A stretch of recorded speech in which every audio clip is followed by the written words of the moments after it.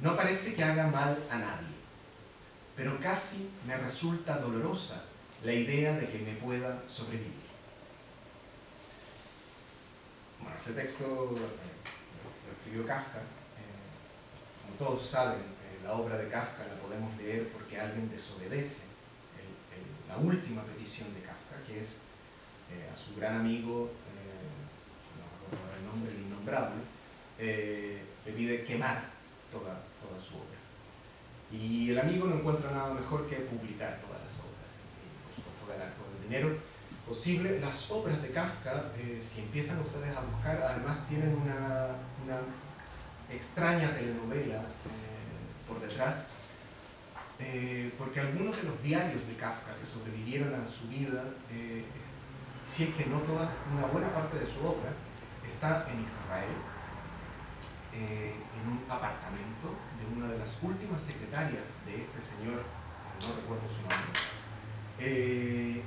y que por años el Estado de Israel ha intentado comprar y adquirir, porque en estos momentos estas obras se mantienen como desaparecidas. Todas las otras, todas las obras que tenemos acceso a Kafka han sido a partir de la copia de la copia de la copia, pero los originales están guardados en un apartamento, del cual no sabemos si hay moho, etc. Ahí, hay, un, lento extraño proceso de desaparecimiento de la obra por sí misma, por decirlo así. La obra siguió, siguió su camino. Como les decía al comienzo, eh, mi intención era leer el texto 1 y sin embargo hoy día cambié de opinión y voy a leer directamente el texto 2, que creo que es más global que el texto 1 y nos permite después llegar así a las cosas. No creo mal de que para el sentido de este seminario las cosas partan así adelantos y retrocesos, como tartamudeos, como, problemas de quien da el seminario. La, primera pregunta, que es la pregunta fundacional de todo el, no del proyecto del seminario, sino de lo que quiere preguntarse el, el trabajo, es tal cual y muy simple, existe algo así como el acontecimiento. Existe lo que sucede. Existe lo que aparece. Si algo así como el acontecimiento existiera, ¿cómo podemos decir de aquello? Más aún, ¿qué herramientas o formas de decir tenemos o tendríamos que crear e imaginar para conformar un circuito de identificación de aquello que determinaríamos como el acontecimiento. Y entonces, desde esta pequeña maquinaria definida para una identificación, es decir, a partir de un cuerpo espectral de una identidad, ¿cómo podemos componer esa identificación del acontecimiento que le tendría entonces que decir? Lo estaría nombrando. ¿Qué tendría aquello que ser para que fuese la determinación de ese acontecimiento que reconocemos como tal? el primer problema que tenemos es muy amplio, pero el primer problema que tenemos es que algo aparece y no tenemos, o creo yo, que en general no tenemos ninguna herramienta para poder hacer este desdoblaje de identificación de aquello que aparece. Entonces, en la presente discusión intentaré componer un paisaje desde tres pliegues, cada uno de los cuales eh, propongo esboza los acercamientos filosóficos contemporáneos, es decir, actuales, que existen hacia aquello que, podríamos decir, es el acontecimiento. Estos tres momentos que vamos a visitar son los de Jules Deleuze, Alain Badiou y Slavoj Žižek. En primer lugar, podemos hoy ya decir que existen en el marco compuesto por esta múltiple contemporaneidad que vivimos, al menos dos grandes sistemas filosóficos que piensan la composición del acontecimiento. Uno es la filosofía de Gilles Deleuze y el otro es la filosofía de Alain Badiou. Ambos filósofos franceses, uno muerto, el otro aún vivo. Bueno, de hecho hace dos días hubo esta actividad de dos días en el MACBA con respecto de los 40 años desde la muerte de Gilles Deleuze, 20, bueno. eh, del suicidio de, de Deleuze. Ah, suicidio muy interesante porque salta por la ventana. No podemos pensar muchas cosas en un filósofo saltando por. En ambos filósofos franceses encontramos un profundo pensamiento que opera sobre la fragilidad del concepto de acontecimiento y de aquel correlato material que sería aquello que efectivamente es el acontecimiento. Sin embargo, antes de ingresar a estos complejos arquitectónicos, debo hacer mención a una montaña. En la obra posterior a la Segunda Guerra Mundial y en particular posterior a su propia caída, signada por el desvelamiento de su relación personal y quizás la de su total filosofía con el nazismo, Martin Heidegger compone su trabajo alrededor de un complejo concepto, el Ereignis, que ha sido traducido regularmente, y aquí en español, como acontecimiento.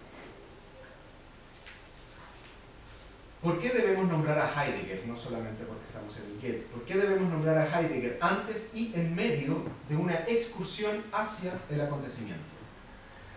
Las razones son múltiples, pero no son del alcance de este seminario. Sin embargo, nombraremos una razón suficiente. La propia consideración que hacen ambos filósofos franceses de la obra de Heidegger. Todos ellos e incluido Zizek en este momento, en distinto modo, tienen una profunda relación con la obra de Heidegger. Tanto como un intento de contestación de esta obra, en el caso de Alain Badiou, como una formulación de una nueva interpretación. Heidegger escribe contribuciones a la filosofía sobre el acontecimiento entre los años 1935 y 38 este texto no es un libro en el mismo sentido que lo fue Ser y Tiempo. La estructura de estas contribuciones es la de las anotaciones. Esto lo hace bastante interesante porque Heidegger, ah, el, filósofo eh, ontológico del siglo XX, em, tiene este grupo de anotaciones muy en la medida de lo que desde la, otra orilla son los paisajes de Walter Benjamin. Eh, no sé si alguien ha hecho la comparación de estas dos contribuciones, eh, pero se hace bastante interesante poder ver eh, este lenguaje entrecortado de estas dos filosofías alemanas. Las dos, de alguna manera, mucho más en el caso de Benjamin, pero más extraño en el caso de Heidegger, relacionadas con el contexto estético. Y la filosofía, y esto es ya un punto, eh, como estética. O, este será mi, mi, hipótesis, la filosofía como arte, directamente. Arte, pintura, escultura, filosofía, etc. La estructura de estas contribuciones es la de las anotaciones. Su conjunto no tuvo nunca la intención de ser publicado, al menos en vida. En este conjunto de pensamientos, Heidegger directamente instala al ser como acontecimiento. El texto no es lineal, su intención, la intención de Heidegger es sobrepasar al lenguaje, a través del lenguaje, y establecerse en lo que sería el pensamiento puro. Este es un, eh, comillas, voy a, abro comillas, y este es el tipo de escritura. Esto es una traducción por lo demás.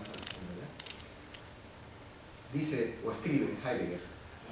Con esto, las contribuciones, si bien hablan ya y solamente del despliegue del ser, esto es, del acontecimiento que confiere lo propio, no son capaces aún de ajustar el libre ensamble de la verdad del ser desde este mismo Si alguna vez resultase esto, entonces aquel despliegue del ser determinará él mismo, con su estremecimiento, la ensambladura de la obra del pensar. Este temblor irá fortaleciendo luego hasta convertirse en la fuerza de una dilatada mansedumbre en la intimidad de aquel diosamiento de Dios de los dioses, desde donde acontece propiamente la remisión del Dasein al ser en cuanto que fundación de la verdad para él. Eh, es un ejemplo, ¿eh? No, no hay.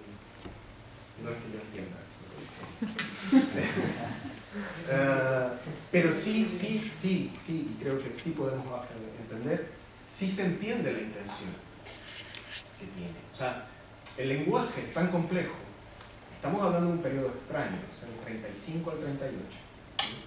O sea, es pleno periodo en que Heidegger se está convirtiendo en el rector de la universidad eh, ya firmado por el partido nazi, eh, y al lado de lo que ya había sido la publicación de ese tiempo, aparece este, estas contribuciones, como un texto, como una anotación que no tiene objetivo de publicación, sino que póstumamente. Eh, incluso creo que, bueno, hace muy pocos meses se publicó la traducción al inglés, de lo que son conocidos como los libros cuadernos negros de Heidegger, que es de un periodo particular en el cual, bueno, evidentemente se expresa lo que ya todos sabíamos, de que hay una serie de referencias, de referencias en su filosofía que pueden leerse como referencias de carácter político antisemita libros más, más pesados. Uh, sin embargo, y dejando de lado por ahora una suspensión muy general este juicio de valor que le podemos hacer a Heidegger, sí se puede ver, se puede sentir la intención de llevar al límite el lenguaje para que ese lenguaje deje traspasar al pensamiento